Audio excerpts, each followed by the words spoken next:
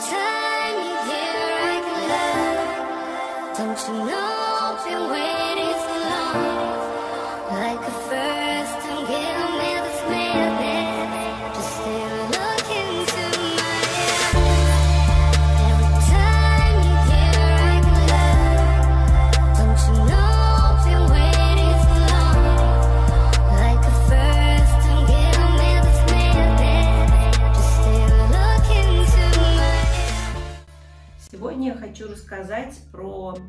квадрат Малевича, черный квадрат Малевича.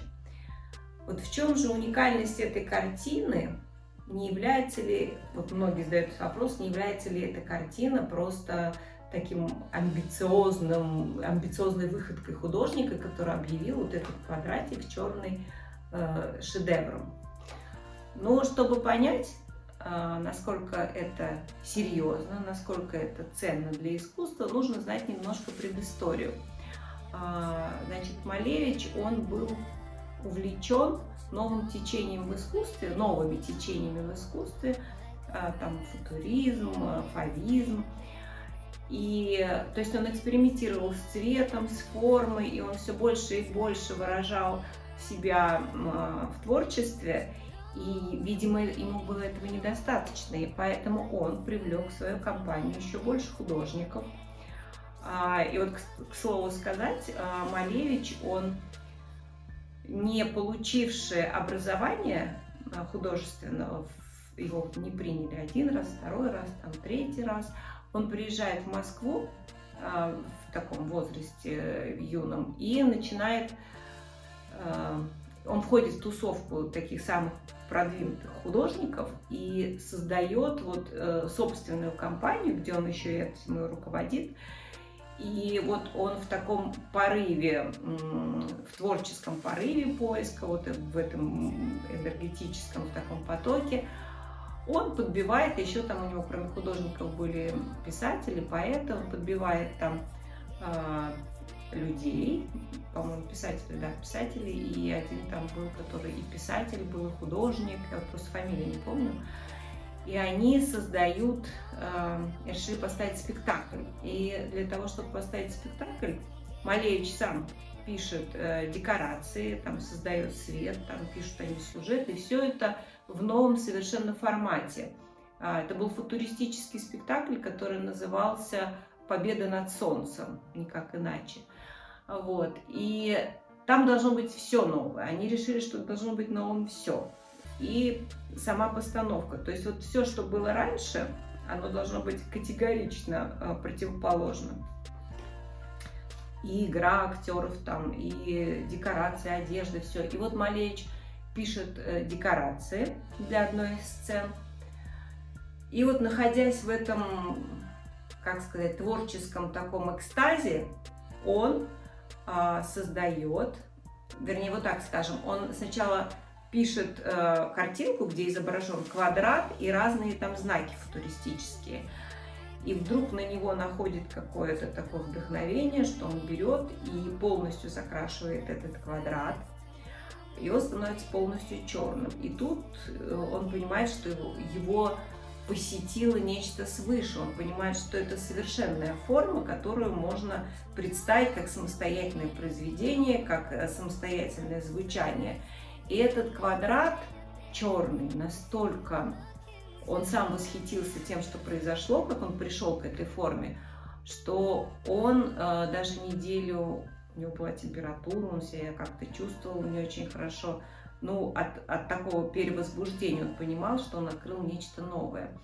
И вот это нечто новое он называет супрематизмом, то есть собственное течение в искусстве, где главенствующим, доминирующим является сам цвет. То есть с этих пор цвет не привязан ни к какой форме, не является э, зависимым от формы, от какой-то цвет, работает сам по себе. Цвет выражает сам себя. Единственное, что остается, наверное, вот эти геометрические формы, через которые тоже можно выразить, то есть нужно небольшое количество э, простых каких-то форм, и самое главное это цвет, доминант цвета. Вот. И э, до того, как этот квадрат получил э, популярность, ну так вот скажем, готовилась выставка в то время, там принимали участие, по-моему, 10 художников, тоже таких новаторов, и среди них был Малевич. И до этой выставки слово супрематизм вообще никто не знал. То есть Малевич, мало того, что он изобрел это, он еще напечатал брошюрку, где все это рассказывается, и явился как бы основоположником. Экспериментировали тогда все художники, но а, вот кто первого назовет, кто встанет вот у истоков течения, тот и будет. И Малевич как бы до последнего держал это вот в тайне. И вот когда открылась эта выставка, и увидели вот эти все произведения художников современных на то время. В центральном углу, в красном углу, где обычно у людей стоят иконы, находился этот черный квадрат. Он стоял как икона. И Малевич сам объяснил вот этот квадрат, что это голая икона. Она символизировала вот как правильно сказать, вот чтобы пони понимать глубже вот этот квадрат, да, в, что он хотел этим сказать, что хотел сказать Малевич этим квадратом.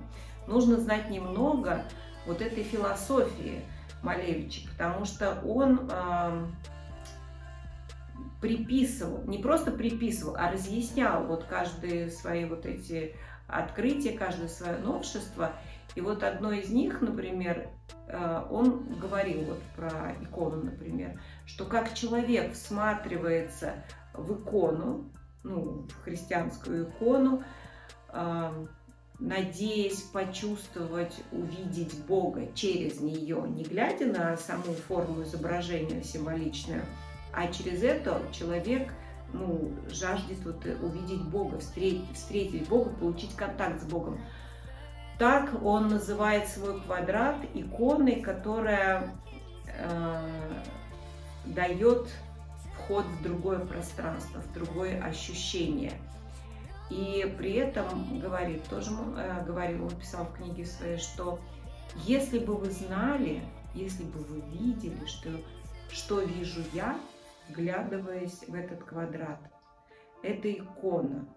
А если посмотреть а, на это глазами его современников, которые увидели, ну тогда было все новое, все как бы, ну не все принимали, но были тоже авторитетные люди, один из них Бенуа был, он э, считал, что это, он не, при, не принимал это искусство, не принимал этот квадрат и называл его могильной плитой искусство, которое существовало, было уютное, хорошее искусство, которое веками люди нарабатывали, что-то вот создавали живопись, живописное искусство, и тут появляется какой-то э, квадрат, который называют там, и вокруг этого столько шума.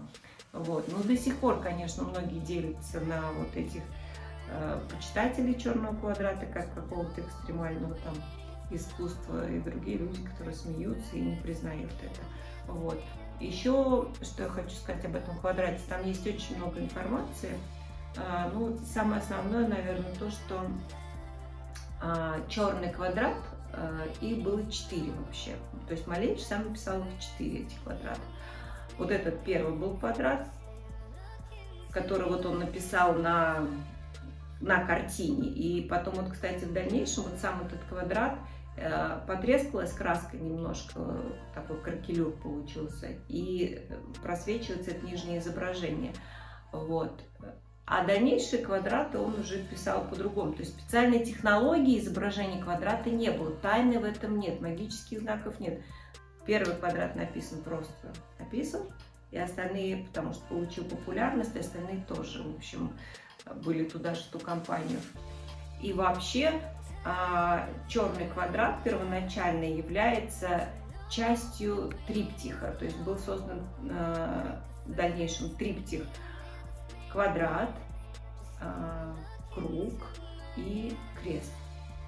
То есть это был как бы получился триптих. История четырех квадратов, вот этих всех, тоже она там такая интересная. И, в общем, суть в том, что сейчас эти квадраты находятся у нас там в музее, в Третьяковской галерее, в Русском музее. А вот четвертый квадрат, говорят, вообще в 90-е годы а, он находился у каких-то там а, потомков Малевича и находился в Самаре.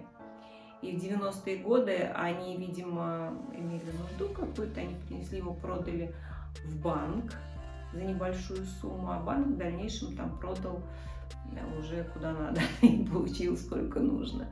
Вот. То есть эти квадраты, они так путешествовали. Но вот в чем, э, как сказать, фи, вот фееричность всего этого события, да, в том, что он вышел за пределы э, общепринятого э, в такой красивой форме, в такой, дав возможности остальным художникам развернуться.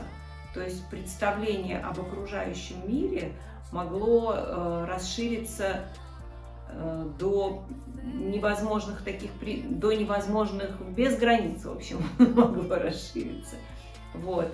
И когда вот я просто считаю так, это мое личное мнение, что когда мы смотрим в квадрат, в квадрат Малевича, да, что мы там можем увидеть, это куча возможностей для художника, для творчества, ну, если как художник смотришь, ты, ну, если не как художник, тоже возможности, запредельные возможности, которых бесконечно много всегда. Это является и символом этого, и э, сам Малевич тоже определял это как э, портал какой-то. Поэтому квадрат хорош, ругать его нечего, понимать его несложно.